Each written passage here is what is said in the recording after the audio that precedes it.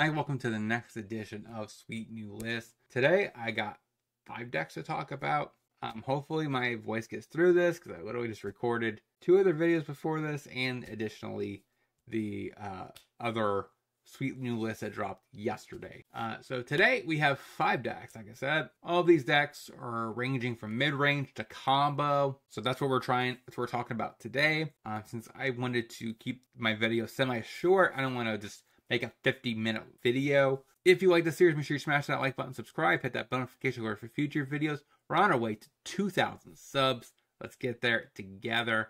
And if you're not following me on Twitch, go do it, please.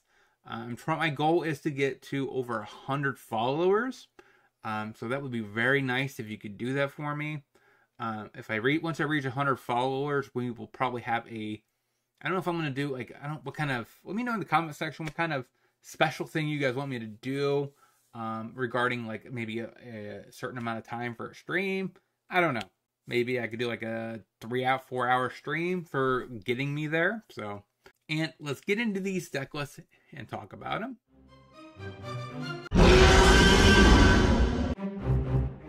So, this deck is the first one I'm talking about just because it's less sweet than the rest. At the time, I thought this deck was cool. Was before it became top three best decks in the format. Except now it's like legit meta. It's top three. It's better than the Rakdos version, which is basically is the Rakdos version, splashing green for Ygra.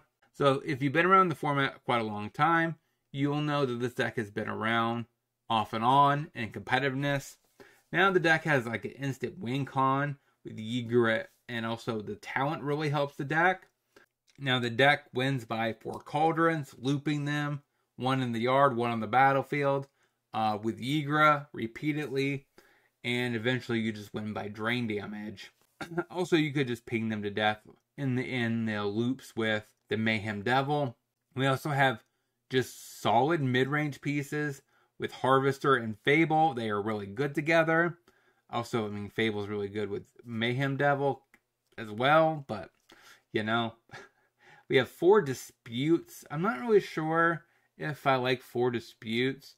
Honestly, if I would be playing this list, I might want to try like two disputes and two Kamala, Cam, Camellias because it also can combo um, with familiar as a way you can, you know, with Ygra down, you can sack the squirrel.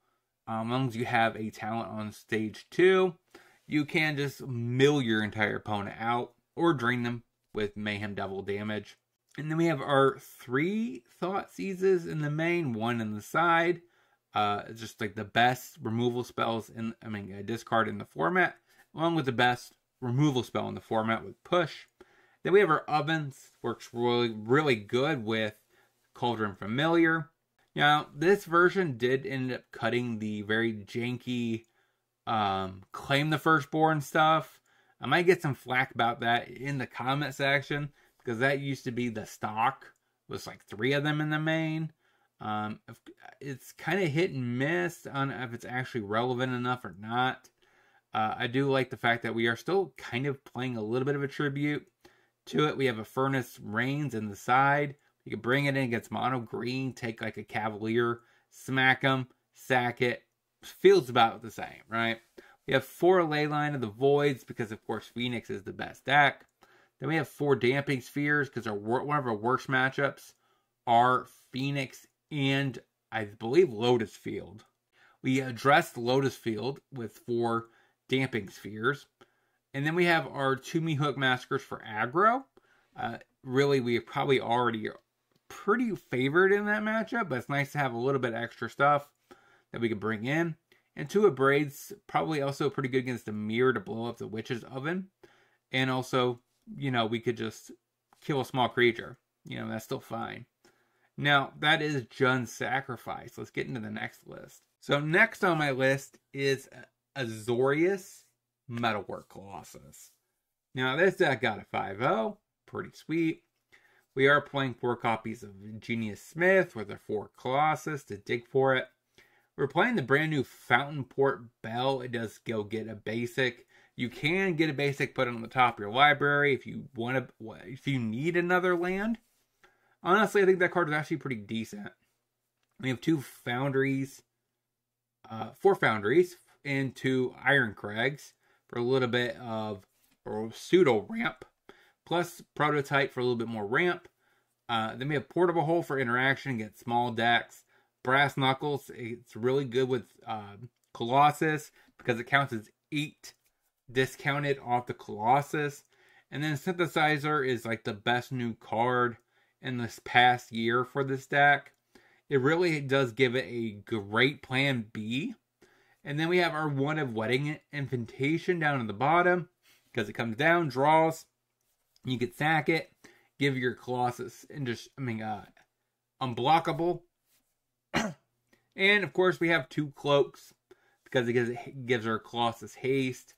And then we have 2000 Moon Smithy because it's just a very cool card that also works well with Synthesizer. Sideboard. We have three Damping Spheres for the Lotus Field matchup.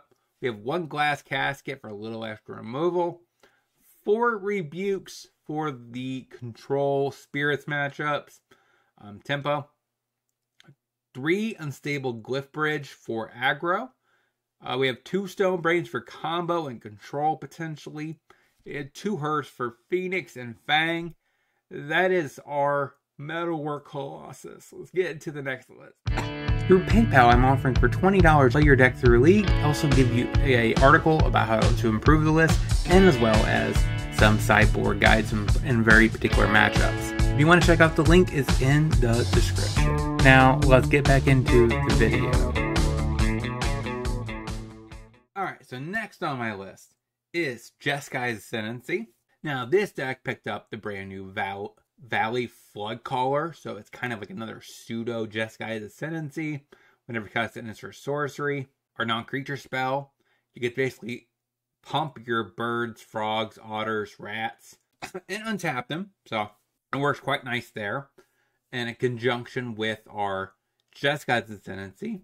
Of course, it doesn't actually untap our Rona or Emry, which are other combo pieces. The deck does go infinite with Helix plus like a Crypt um, or Mox Amber with uh, attached to a Rona. That's a pretty nice way of winning the game. And of course, with Jeskai Ascendancy, you could attach it to a Floodcaller as well, or even a Emry, right? Depending on what you have. Uh, this deck is playing four copies of the Puzzle Door as a way to dig through your library, uh, as a way to fill up your yard a little bit. This deck is playing four copies of Dig Through Time instead of Treasure Cruise because we are actually looking for certain cards. Uh, our other win con potential is temp, uh, Tempting Apple. So we could take something and just, you know, smash, use that creature as a win con. Sideboard, we do have two Pithing Needles for Teferi, any kind of Planeswalker, or even some sort of stuff like Soul Cauldron. It's kind of nice there. Silence for decks that might have counter spells against our combo. We could just silence and then continue to combo. We have uh, four portable holes as a way to fight through aggro decks. Four Surge of Salvation to protect against Thoughtseize also against removal, so it's a little bit better in this deck than something like Leyline of Sanctity, where it's just strictly your hand. This deck, you also want to protect your Rona or your Emry, so keep that in mind. For mid-range removal, we got Get Lost, and then we have an extra Tormod Crypt if we face something like Phoenix, where it's you need extra graveyard hate. Um, and it still, like I said, actively works with our combo with Helix. So that's kind of nice. Now that is our Jeskai's Ascendancy for Pioneer. Um, this deck also can win on the back of something like Relentless Restless Spire, which happens to be a land. You just keep tapping it for mana uh, and untap with Jeskai's Ascendancy. So that's the other combo piece. Technically, if you out of your mana base, this deck doesn't play any more other creature lands. It looks like so. So that's the list. Let's get into the next list. Next on my list is a deck that I actually really like. And it was getting a little bit of traction before the banning, but now I think it's it should be a decent deck post banning, and that is Golgari Crimes with Chevill. this version is not playing one Chevill on the board, just one in the main.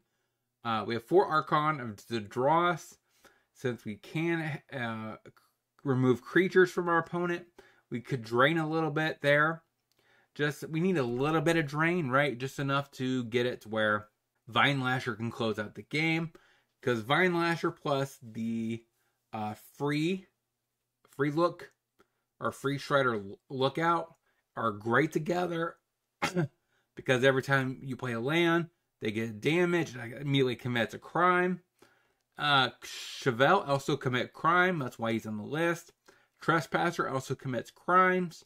Then we have Dread Knight because it's just a very good two drop uh, mid range piece. It provides card draw. It is a decent creature. 3 2 with trample for 2 is a really good threat. Um, we have four Thoughtseizes, four pushes because they're just the best interaction in the format. One bitter triumph with two go for the throats for a little bit additional removal in the two drop slot. We have two duress to help make sure we clear the way for our actual combo pieces like Vine Lasher on turn three or Lookout. Keep in mind, most of the time you don't want to play Vine Lasher until turn three when you actually could offspring it. Uh, we have two Bank Busters in the main, one in the side. They're really good against grinding matchups and against something like Control. We're probably going to be cutting our Fatal Pushes um, for Go Blanks, Duress, and Bank Buster. So those are very nice pieces interacting with our opponent. Aggro. Two extinction events for mono green and aggro. Two path of perils for aggro. Now, in that case scenario, you kind of want to just trim back on stuff that's not as impactful in the in the actual matchup. Um, Chevill's still really good there because you're going to be interacting a lot. So you probably can cut back on a couple bank busters. Uh, you don't really have the time against aggro to just you know, pay into your bank buster. And you also, you could argue you could cut back on some numbers of Thoughtseize. Uh, I like Duress depending on the matchup because most of the time their burn spells are kind of what you want to be hitting anyways. Other than that, we have one Duress for a little bit more control and counter magic or control and control aggro, ah, control mid range and uh, combo. Two go, three Go Blank for Phoenix also good against control and um, combo. Like I said, Path is for aggro. Two Tear Asunders can do spot removal on artifacts and enchantments. Um, so it's really good against something like Talent.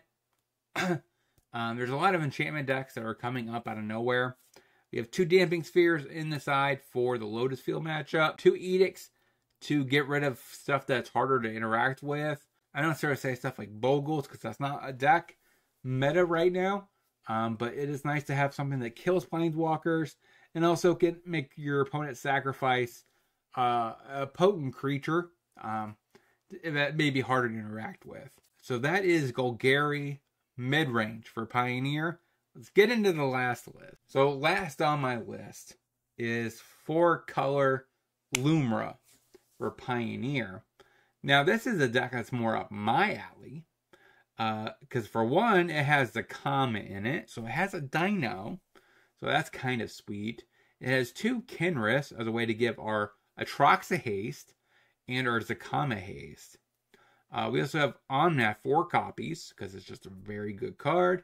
We have three Nissas, four Cobras. Um, it's kind of weird not seeing the fourth copy of the Nissa, but I totally get it. And then, of course, we also have two portable holes for interaction, gets small threats. We have three Ancient Cornucopias, just because they are three drop uh, ramp spell. that gives us any color. And we get to Omnath and gain four, which is really nice. We have three ill-timed explosions. Is a decent sweeper in the main. Get to draw a couple cards, pitch a couple cards. Um, depending on what we pitch, we could get it back with Kenrith. We have three Escape to the Wilds to help dig through our deck, get extra lands down. Three Spelunkings to draw cards and also make sure our stuff ETB's untapped. Uh, we have one Annie joins up since we do have a lot of legendary creatures. And honestly, that's that was the deal breaker. I've seen multiple, few different lists of this take, and I picked this particular deck version of it, this person's, just because they have Annie's join up. So if you're wondering why I wasn't picking the other variants of this same deck, uh, that's the reason. I think the card is very sweet, and sometimes flavor beats uh, competitiveness sometimes.